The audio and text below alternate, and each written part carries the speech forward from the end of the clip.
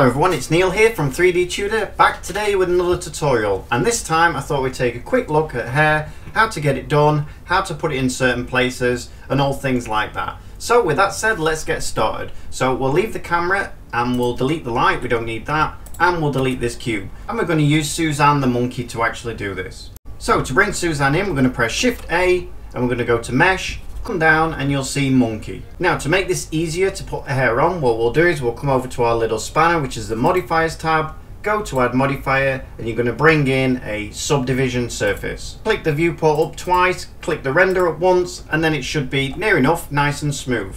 Now you need to do is right click and shade smooth.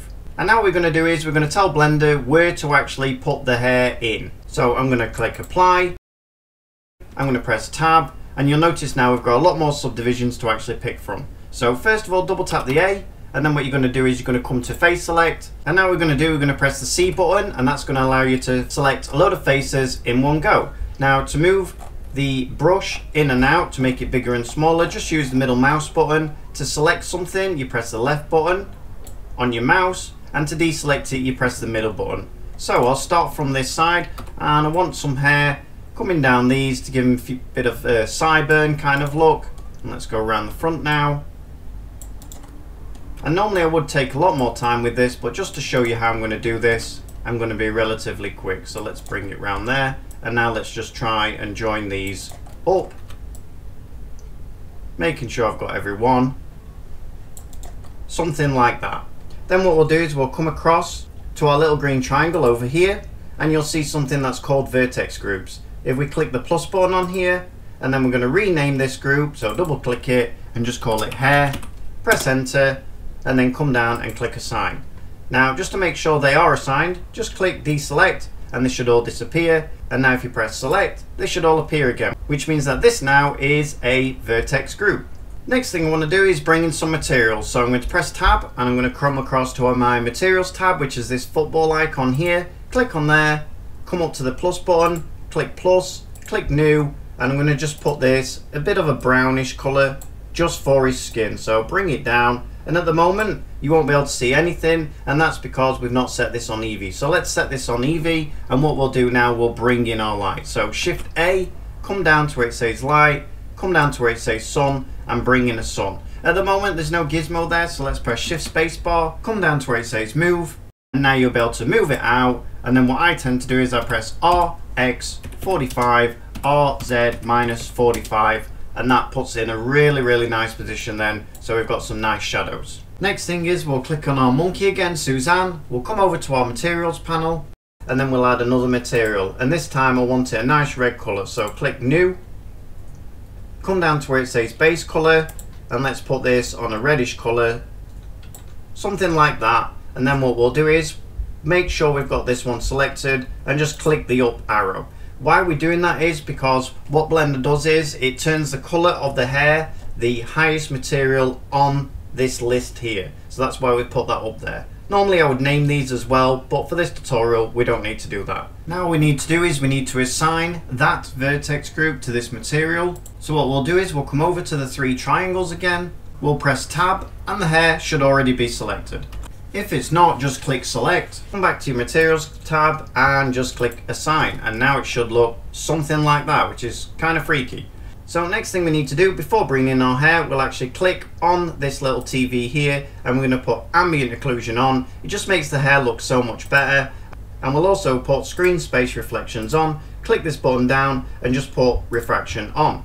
And now we're ready to bring in some hair. So let's come over to the particles system tab, click on there, click new, and then just come down to where it says emitter and just change that over to hair and you'll get something pretty crazy like this. And now before we do anything else, let's put the hair where we want it. So come down to where it says vertex groups, click on there, go to where it says density and click hair. And now you'll have the hair just in the places where the vertex group was actually made.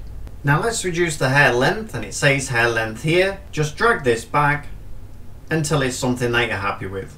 And don't worry too much about the hair length because we can actually make it longer or shorter in the next process I'm going to show you. Now let's thicken up this hair a bit. So if we come over to where it says children, come across to interpolated and click that on. And now you'll see that we have a nice thick, bushy hair on our Suzanne. Now what you might want to do here is just turn up the display amount. That just gives you a better idea when you're messing around with this hair how it's actually going to look. So if we turn that up to something like 50, that should be easily enough then so you've got a good idea how it's going to turn out when it's actually rendered. Now let's change a couple more options and then we should be ready to comb this hair. So come down to clumping, turn that up a little bit just to clump them a little bit together and you can mess around with the shape as well just to get it to your liking. You can see doing this you can actually make fur as well but for this we're just going to keep the hair pretty simple. Now come over to your TV again, click on it, come down to where it says hair and let's put it on strip just to make it so we've got a better idea what it's going to look like. It's a little bit too thick I find when you're dealing with the uh, strand and now let's come over to where it says object mode and put that on particle edit and you'll get something like this. Now it's pretty hard to work with when it's like this. So come over to the little spanner here, come down to options and make sure children is clicked on. And now you should be able to brush it with the hair all in place. So what we've got here as you can see is comb. So that's the first one I use. If you want to make this brush size bigger, you just press F hold it down and then you can pull it out and then just release it and then you've got a bigger brush. So let's uh, start pulling this down now. And if it slows down your computer a bit too much, you might have to turn the children down or turn off this option here and that'll make it a little bit easier for you. So let's just brush this into place.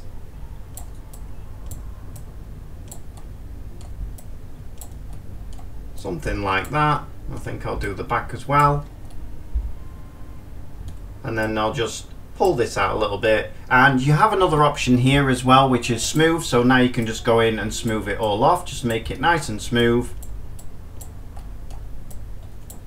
And then you've got one here that says uh, length. So if we come now we can actually start pulling it out like this and making it a little bit longer on the back. And don't worry if you pull it out a little bit too long we can sort that out as well. Let's pull these down a bit and then what we're going to do we're actually going to cut them so all we need to do is just drag it across then you can actually cut them as well. And now what we'll do is we'll come back to where it says particle edit, come up to where it says object mode, and now just bring in the camera, so shift A, camera, get a nice position of where you want to take your render of, something like this. Press Ctrl Alt 0 and that will put your camera exactly where you're looking. Press the N button, come to where it says view, click on lock camera to view. And now what you can do, you can zoom it out a little bit with the middle mouse. And if you hold control shift and the middle mouse, you can actually zoom it in nice and slowly. And shift and middle mouse and you can actually move it up and down. Then you should be able to get a nice view of what it's going to look like. Finally come up to render and click render image. There we go everyone, a very quick tutorial on how to actually do hair. So I hope you enjoyed that everyone. If you liked it, give me a like. Drop me a comment down below if you've got any other ideas for tutorials. Subscribe if you haven't yet. And if you want to support the channel, check out the links down below. So with that said, happy modelling everyone. See you on the next one.